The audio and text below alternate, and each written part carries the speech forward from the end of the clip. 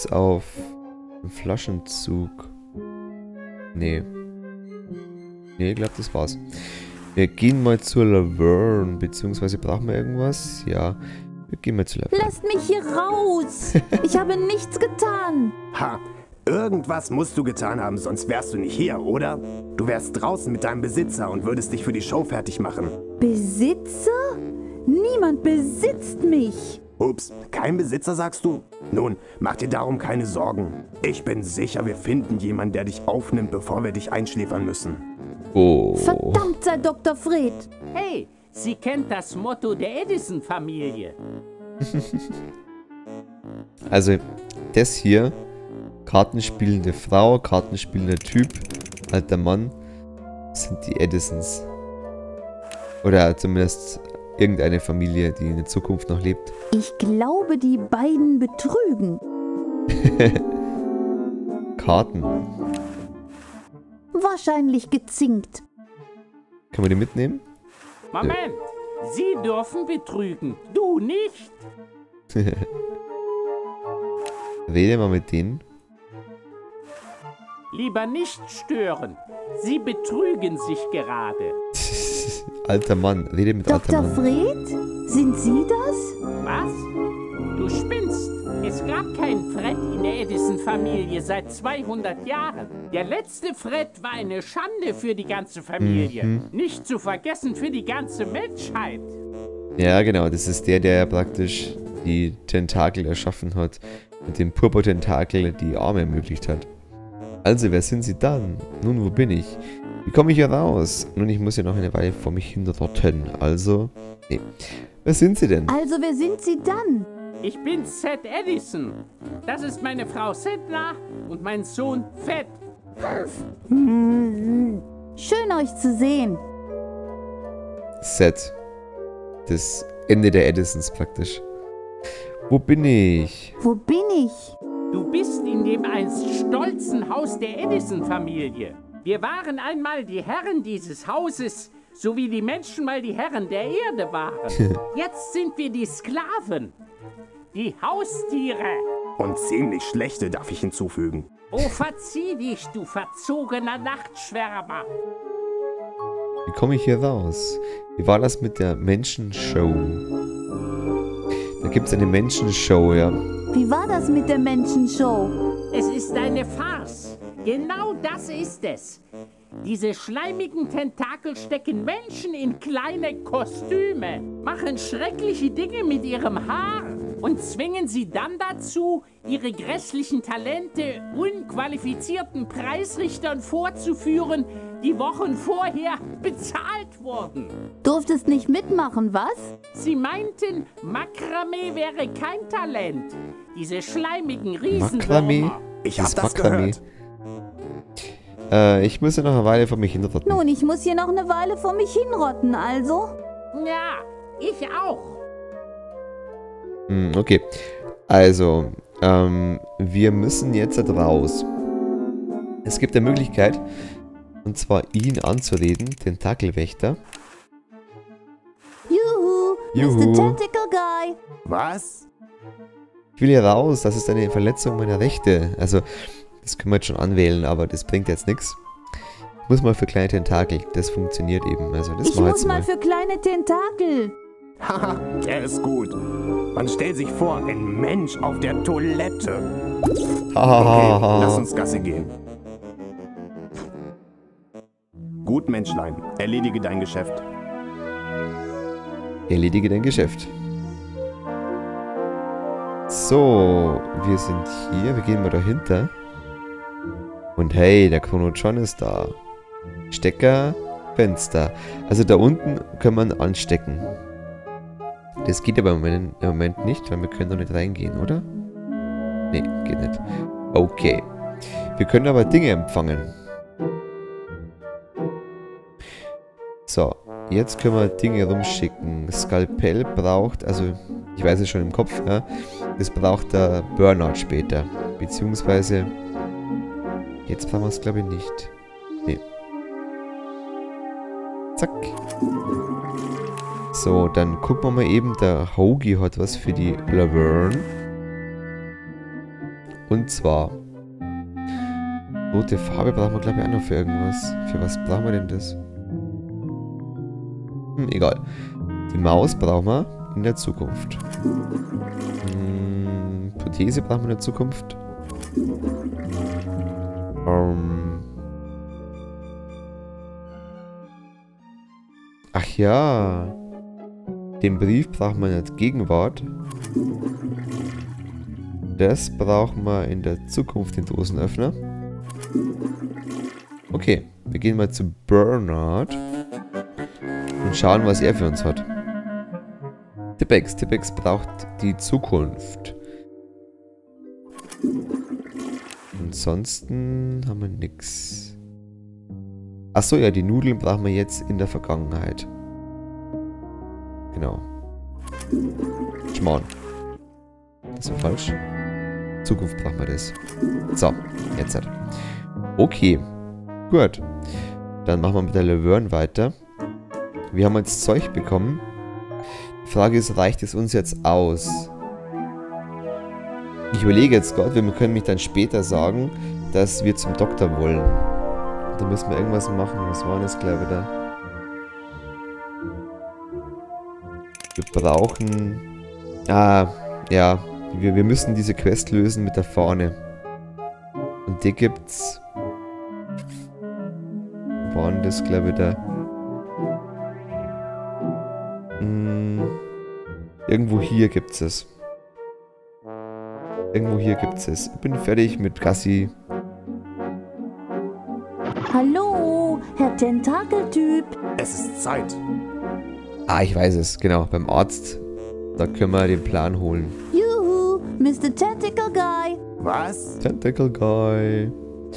Äh, mir ist schlecht. Oh, mir ist schlecht. Ich glaube, ich muss mich übergeben. Oh oh. Oh Zeit, oh. Dr. Tentakel zu besuchen. Dr. Tentakel. So. Ja, was haben wir denn hier? Mir ist schlecht. Wirklich? Okay, jetzt halt still.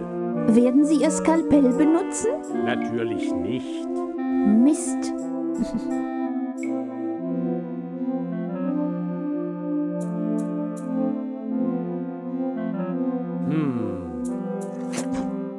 Was? Flop, flop, flop.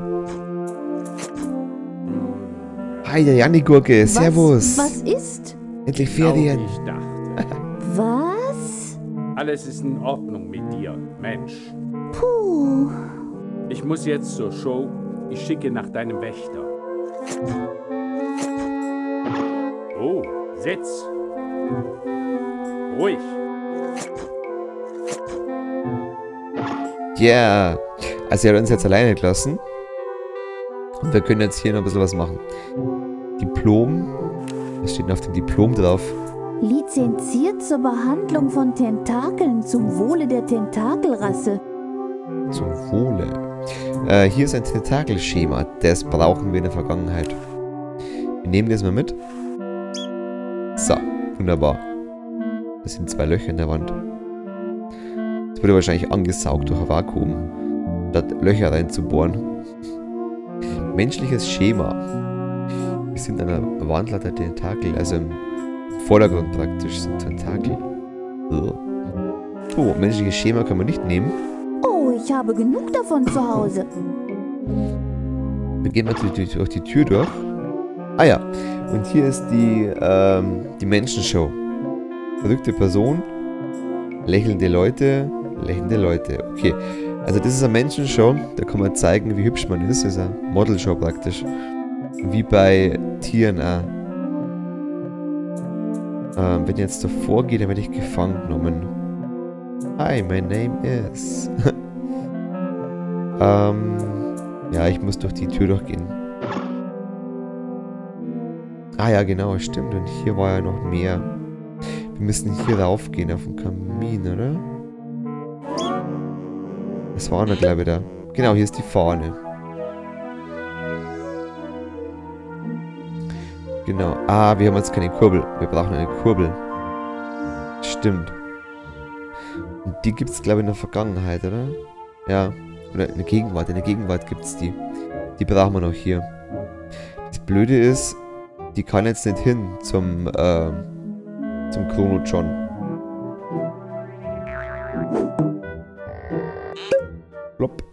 Unterdessen.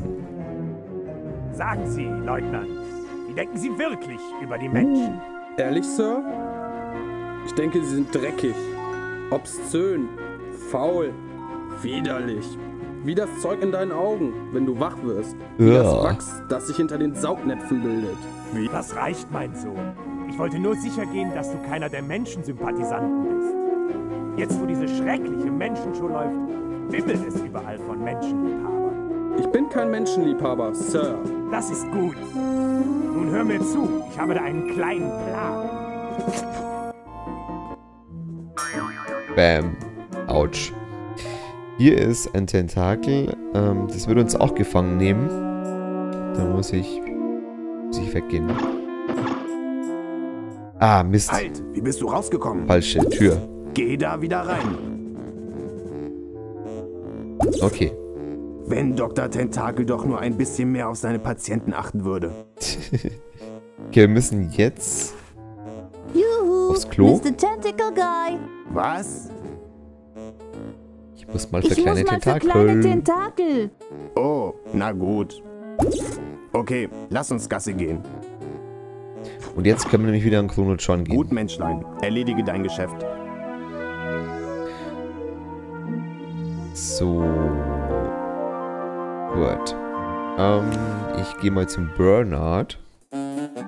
Muss doch jetzt erst die Fahne ändern, genau. Oh, soll vergessen. Hier haben wir noch das Schema. Das müssen wir zum Hoagie ge geben. So, Hoagie. Ab zum Gasthaus. Und jetzt können wir die Fahne ändern. Beim Bernhard muss er auf jeden Fall die Kurbel holen, das darf ich nicht vergessen. Der Bernhard hat nämlich oben am Dach eine Kurbel, die brauchen wir in der Vergangenheit. Beziehungsweise, ich glaube, in der, in der Vergangenheit, wo jetzt der Hogi ist, da gibt es, glaube ich, keine Kurbel.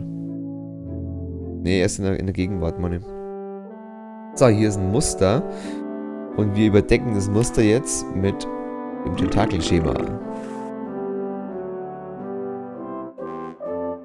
Yeah! Tada!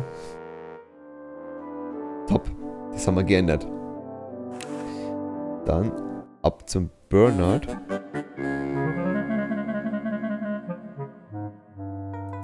Oh, Moment, die müssen wir ganz kurz unterbrechen. Bin gleich wieder da. In ein paar Minuten.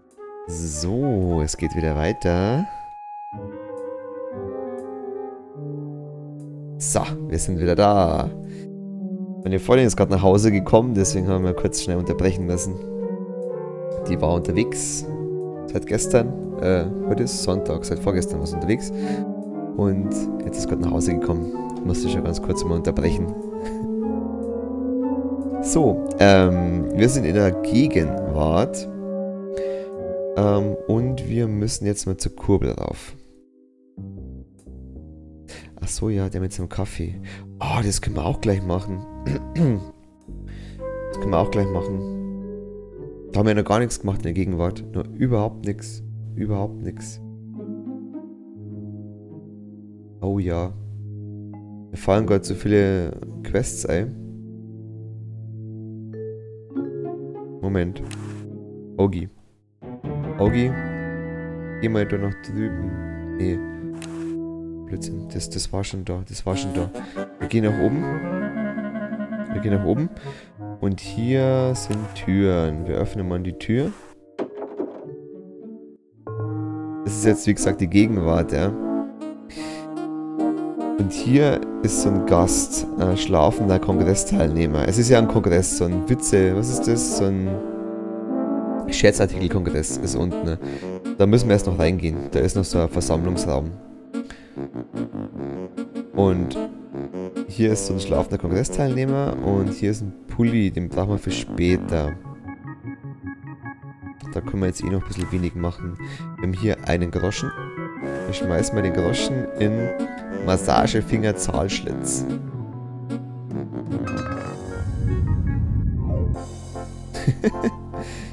das rüttelt sehr am Bett. Ähm, wir haben hier eine Tür. Wir schließen mal eben die Tür. Hier ist nämlich was. So. Hier ist ein Schlüssel. Nimm Schlüssel. So, öffne die Tür. Und tschüss. So. Hier ist noch eine Tür. Und da ist nämlich jemand drin. Da brauchen wir Es was ist von dem. Niemand wird sich hier für mein Design interessieren. Also werde ich meine Karriere hier in diesem schäbigen Hotel beenden. Wie angemessen.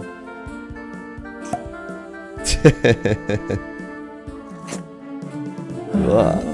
Nicht mal das kann ich richtig machen. Eine Scherzartikelpistole. Also hier wir Zaubertinte. Wir nehmen mal die Zaubertinte mit.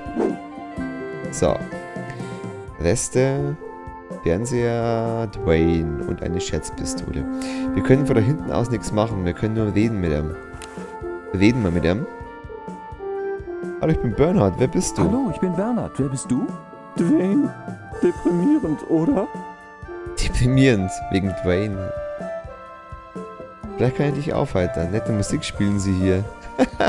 Nette Musik spielen Sie hier, oder? Es ist aus der Fahrstuhl-Klassik-Serie. Es scheint so, als ob dieses Lied den ganzen Tag läuft. Ich war noch nie so deprimiert. Das ist so geil, ey. Ähm, der, den Song gibt's damals, hat's damals auch gegeben, bei der Originalversion. Ah, das hat wirklich... Das hat jemand... Das hat jemand echt komponiert. Da muss man sich jetzt erstmal Gedanken machen. Das hat jemand echt komponiert. Das spielt die ganze Zeit im Hintergrund.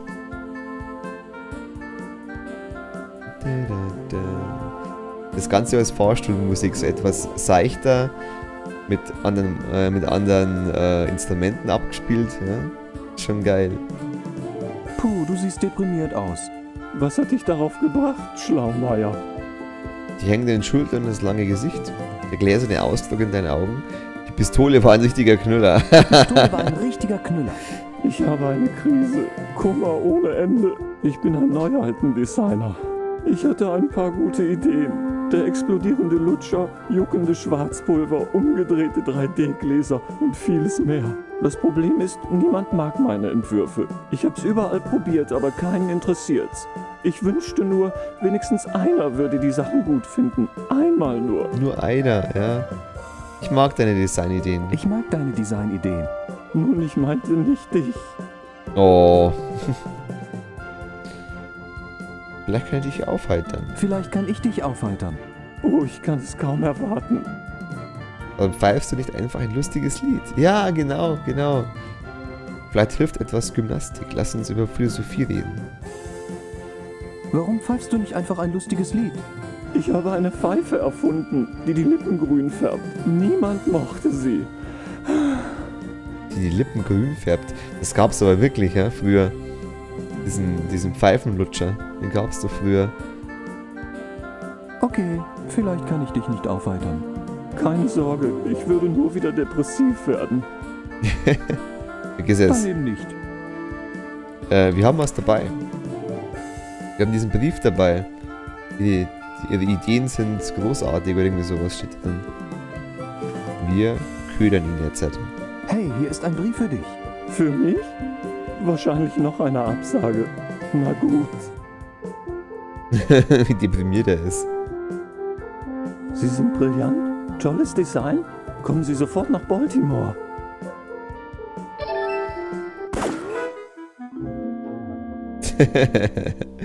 ja, er ist weg. Kann man die Tür schließen? Tatsache. Das, da steht irgendwas drauf. Hm, Okay, geht nicht. Jo, Fernseher, Scherzpistole. Wir brauchen die Scherzpistole. So. Hier gibt es ansonsten nichts mehr. Bild mit Poker spielenden Hunden. Wunderschön, wunderschön. Ein Klassiker. Hier ist noch ein Fernseher. Wir gehen mal raus. So, wir haben jetzt eine Scherzpistole. Wir gehen mal hier rein. Und hier ist auch noch jemand, den, den kennen wir sogar noch. Also wenn man zumindest Manic Manson 1 gespielt hat. Grün. Yeah. Bernhard. Was machst du hier oben? Tja,